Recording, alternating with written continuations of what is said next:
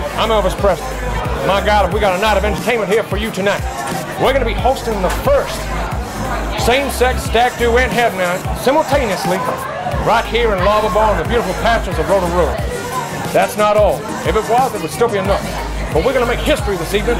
We're going to be marrying the first two gay couples a New Zealander has ever married. It's going to be happening right here.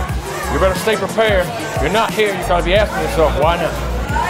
We got lots of activities. We're going to be putting them to the test, finding how durable they are as a couple, finding how stretchable their legs are. We're going to be using all their tact and intellect against them to see if they got what it takes to make a perfect married couple. What could possibly go wrong?